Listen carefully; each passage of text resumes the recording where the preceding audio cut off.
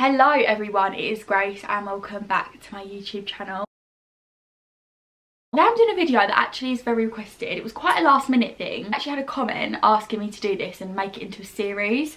So I think that's what I'm going to do. So basically, today I'm going to be talking about my style and my style journey. Like how I sort of developed the way I dress and just my aesthetic I guess. Because I feel like in this day and age, like on TikTok, everyone is trying to find their aesthetic. Like you have so many different ones like Y2K like some people dress like really 2000 some people dress quite alternative some people dress basic which I think I am. I don't think I have that different of a style to a lot of people. Like I just think I'm Fiat 500 I'm to do two parts I think. So this part one is basically going to be like my timeline of life of my fashion and what I've worn over the years and just how I sort of developed my style and was inspired by different things. Let me know what you'd like to see in the part two. I would grab yourself a tea because I talk for England and let's just get on with it.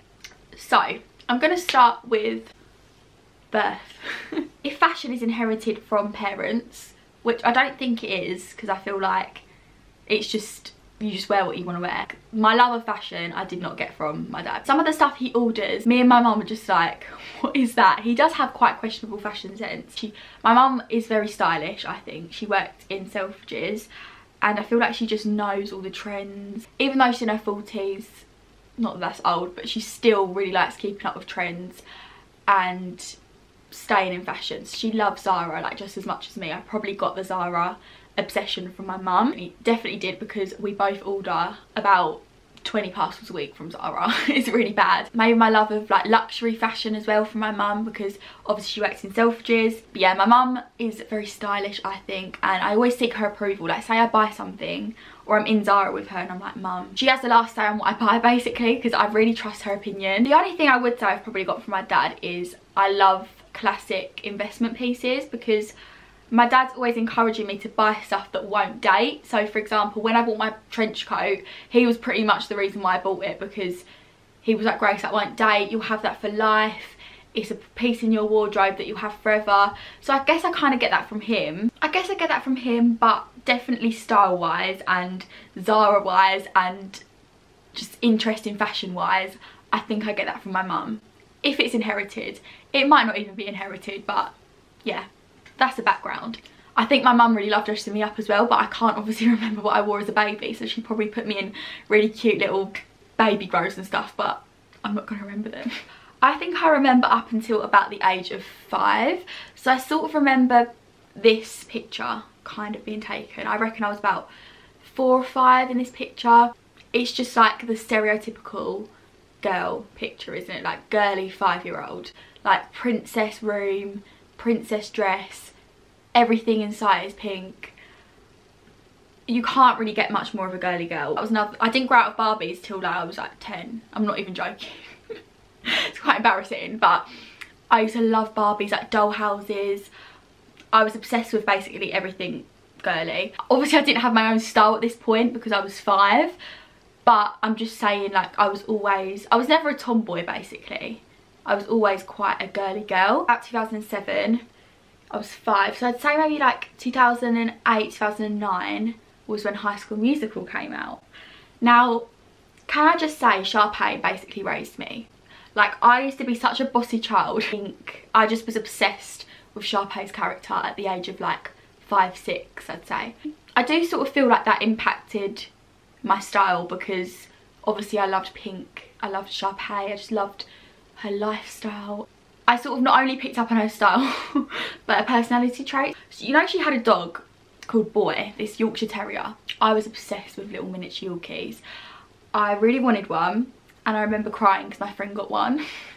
I was so upset because I really wanted this miniature Yorkie that Sharpay had. Mum bought me a stuffed Yorkshire Terrier, just like this little toy, about this big I want to say. And I made my own club up on the bus. This has got nothing to do with fashion, but I just thought it was quite funny and showed you how much Sharpay like influenced my life. I named this little dog boy.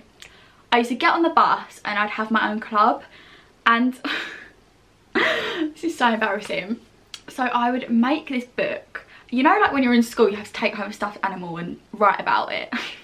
well, I did that but I did it on my own accord so I'd be on the bus and I'd be like right it's your turn to take boy home. You can write about your weekend with him and put it in the book and take a picture and print it off and put it in the book. Like the parents must have just thought I was some sort of psycho bossy child. I was a proper bossy boots.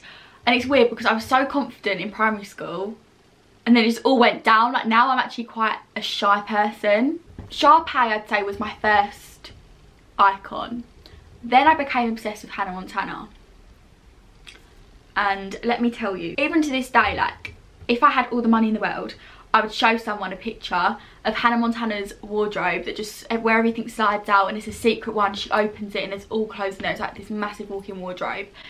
If I had all the money in the world, I'd still show someone a picture of that and get them to make it for me because that wardrobe has never left my mind. Like, I'm sorry, Hannah Montana's wardrobe is the best I've ever seen in my life. I was just obsessed with it. Like, I wanted all the sparkly dresses she wore. I wanted to be like this country girl for some reason. Um, who like sings with her dad on a guitar. I started guitar lessons because of Hannah Montana. Didn't really go very far. I feel like that era was just sequins. Like I was obsessed with sequins. I feel like they were on everything. I'm going to try and as I'm talking about this put pictures around of ringing me. I'm gonna like try and find as many pictures as I can of just me as a child around. And I just wanted to be Hannah Montana. Like I thought I could sing, I do performances in like these sequin dresses. I just basically thought I was her when I really wasn't. I remember having these um, sparkly boots. They were purple sparkly, but when I say purple, I mean like bright purple. I'm to try and find a picture of them because they were quite iconic.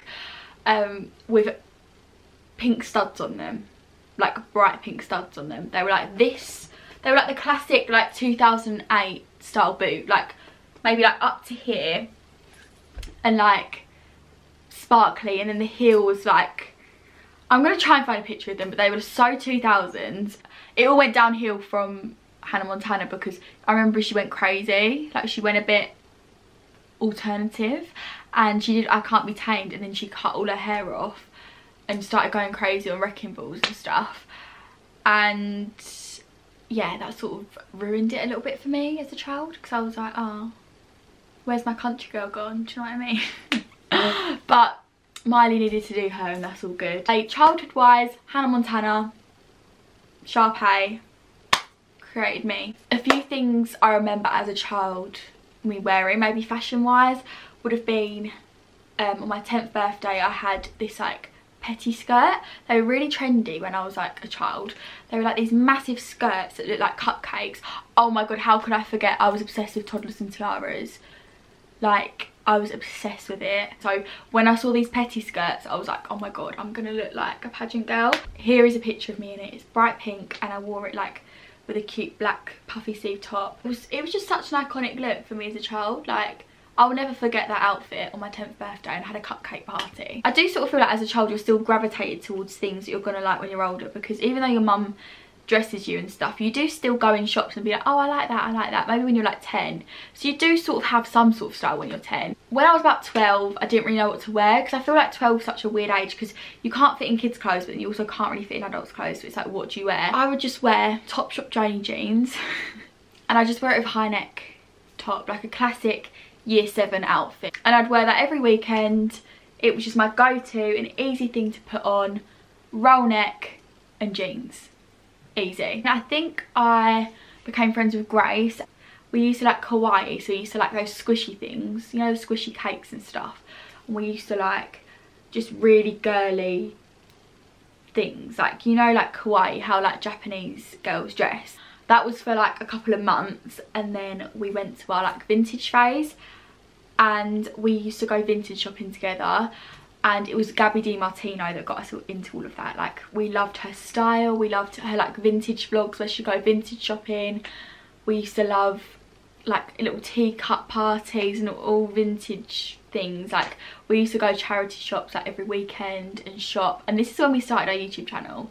And ariana grande as well i remember she had this lipsy collection come out and i ordered so many dresses from them. This was again when i was doing youtube so you can still watch that now that video. I was obsessed with ariana grande.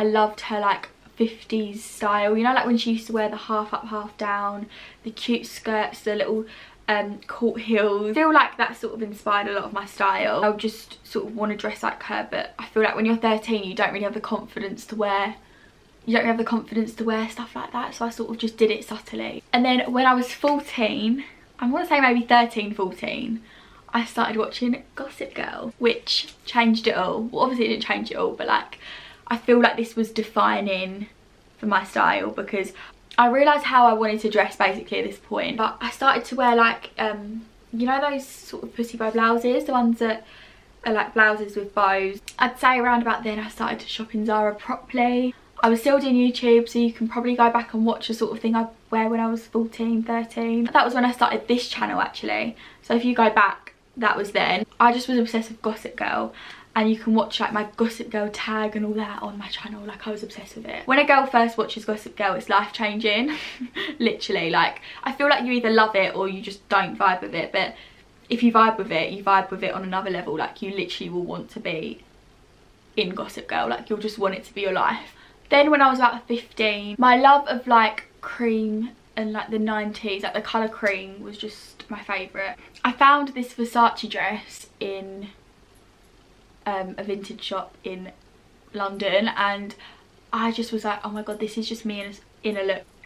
I started to really like just simple cream and white and monotone outfits but I still also used to like the Gossip Girl style and I was like you know what this is the sort of thing I want to wear like gold and cream and those sort of colours like really glamorous and classy. And I, and I also started to like tweed sets as well. That was when tweed sets became fashionable. So the Gossip Girl style was just elevated. This pink outfit was just too iconic. Oh my god. And then I actually wore this outfit when I was sat in front of Blake Lively. When I was 15 I sat in front of Blake Lively at a premiere like she was in this movie called The Simple A Simple Favour. That's it me and Grace got there really early so we was in the front row of this really small cinema room and Blake Lively, I kid you not, was probably sat a metre away from me and I couldn't get a picture with her because it wasn't like that at all. I spoke about the movie but I was just in awe of being sat in front of Serena van der Woodsen. Do you know what I mean? I just couldn't believe it. That's not got anything to do with this style thing but I've probably watched it about four times full through since I watched it for the first time because I just feel like you can never watch it too many times like it never gets old. And it also really inspires me for winter fashion as well. I know it sounds weird but I love the Thanksgiving and Christmas episodes. They're the best so I always watch it this time of year because it just makes me feel really festive. So then I'd say 16 it's not really changed since when I was 16 I started doing Zara hauls like nearly every week when I was 16 and I just basically started shopping there for every single thing. It's not really changed much since last year. I feel like I left school and I found my style and I've not really changed it a lot. I do think I dress a bit too old for my age but I just feel like I like 90s inspired fashion like and Gossip Girl obviously inspired but mainly 90s like the blazers, cream again one of my favourite colours. I'd say my colour palette is black, white, cream and pink. I'd say probably to describe one word my style it would be classic. And let me know what you'd like to see in part two because I can literally include anything. I hope you all enjoyed and I'll see you next time. Bye! Mwah.